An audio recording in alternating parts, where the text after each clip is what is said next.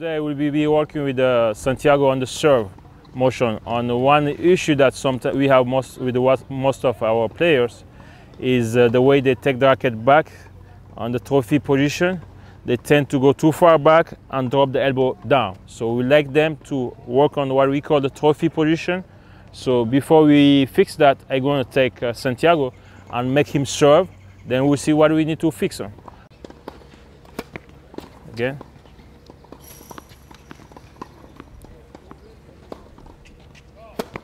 One more.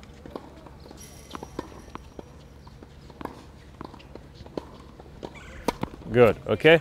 So we, like we, we talked about before, the way Santiago serve, when you serve, show me the motion, show me your motion. Okay, he tend to go too far back here. We can see here, that position is going to be tough for him to create what we call drop racket behind the back. So that's why we like him to have the trophy position here, the 90, kind of 90 degree here, okay, and able to drop the racket behind him. That's going to help him to drop the racket behind and create more power from this motion, from this angle. Okay, so the first exercise uh, drill we're going to do, we're going to bring Santiago to the fence. Come here, Santiago. We're going to have the fence behind you here, okay? So the fence going to stop you to go too far back. So I'm going to just ask you to do this exercise here, okay? You're going to lean against the fence. Ready? Show me. Okay. Close to the fence. There we go. And end up in trophy position. Go. Good. We focus only on the up body right now. We don't focus on the legs. So one problem at a time, always. So the fence help him, like we say, to avoid, come here, Santiago, please. Stay there. Do the, the motion before, the same thing. This way, this way. Yes, stay there, go. He was going too far back and dropping the elbow here. So bringing him close to the fence, go back, Santiago. Okay, go again. Good, okay? That helping to bring it, the, to keep the elbow in this position, not going too far back. What Santiago was doing, from here, this position, he was going too far back. He was going here and the elbow too far back here.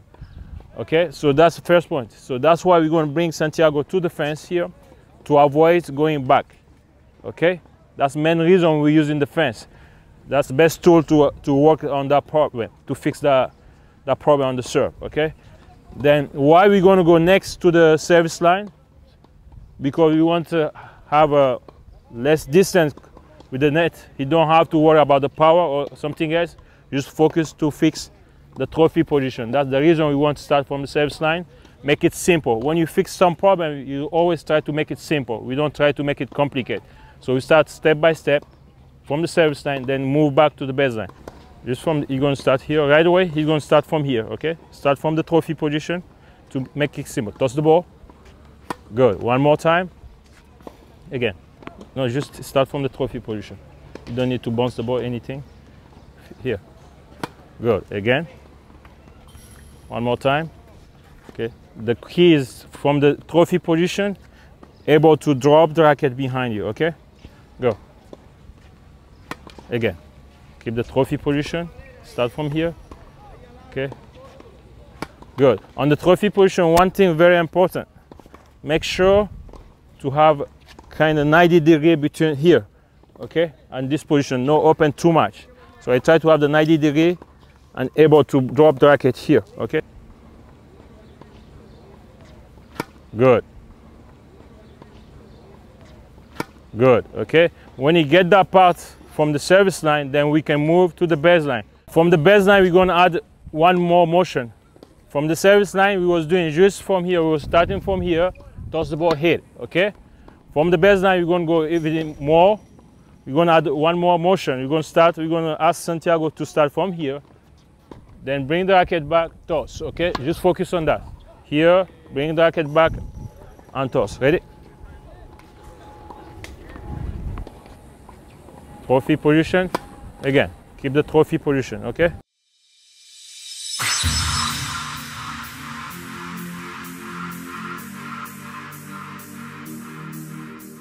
It's better for the player to focus on one thing than to think about many step, many stuff during the lesson. So always take one issue and fix it. Very good. And focus to keep the elbow up, Santiago. Good. Yeah, one more. Good. Again. Last one. Take your time, take your time. Very important to no rush. We ask him to go very slow from here. Take the racket and hit, okay? Don't worry about in or out. Take your time, okay? Stop. Focus on the elbow position for now, okay? Don't worry about the result. Don't worry to get the ball in, okay? Only one problem at the time. At the time. Very good, Santiago. And on this session, we're going to be working on the toss, common mistake we have with our players. Okay, I'm going to show you with uh, the player I have today. His tendency is on the first serve, he tends to toss the ball on the left side, okay? So that's the problem we're going to try to fix on today, okay? Okay, you can see stop there, Santiago, stop there. Here, you want him to go to the target, uh, forward, uh, follow the target. Instead, because he, he tosses the ball on the left side, he's losing his balance. So we really need to focus on that and we're going to try to fix the problem he have on the toss, okay? So the main, again, one more time, Santiago.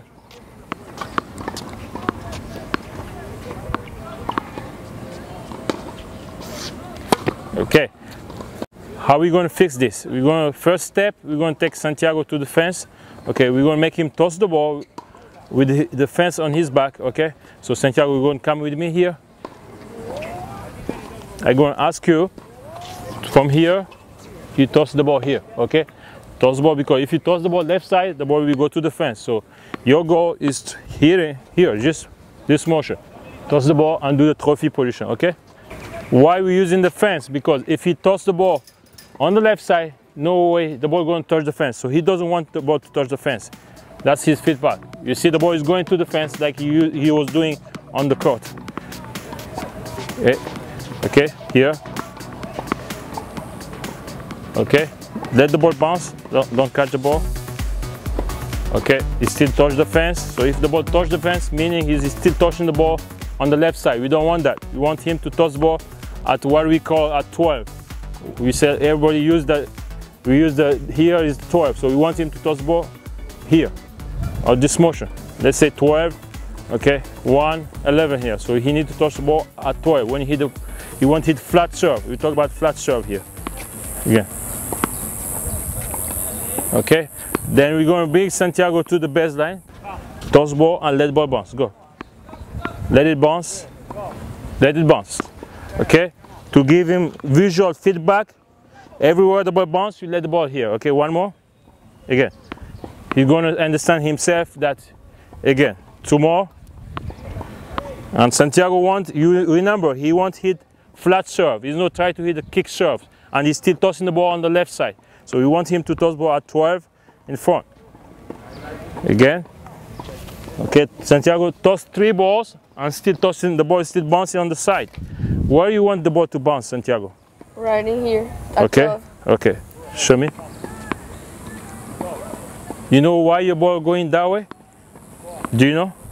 Santiago maybe doesn't know, but the main reason we think is because when you're tossing the ball, you tend to to let the arm go on that side. We would like to, I want to ask Santiago when you toss the ball to keep the arm straight here, up in front. Again. The first tip to fix the, the toss is really the way we hold the ball. Santiago used to hold the ball with the palm of his hand.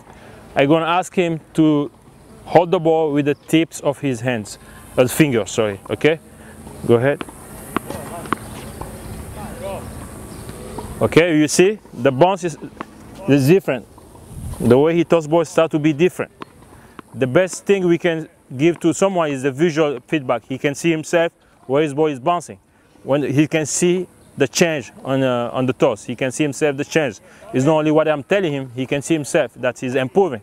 That's very important. Okay, again, one more time.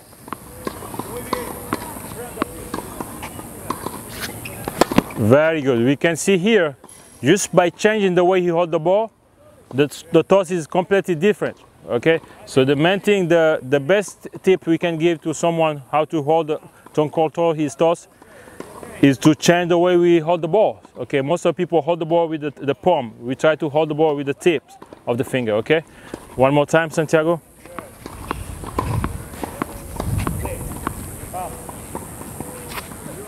Very good. With the tip. Very good. Stop there. Stop here. Do you remember? You remember when Santiago started to warm up, he was tossing the ball left side and he was ending up here. That's the proof that he's improving his toss because now he's tossing the ball at 12 and he's end up forward. He's going to the direction to the target, okay? That's the proof that we're able to change the toss just by changing the way we hold the ball, okay? It's very important. This is wrong. We don't want the player to hold here like you were doing before. We don't want them to hold the ball this way. We want them to hold the ball with the tips of the finger.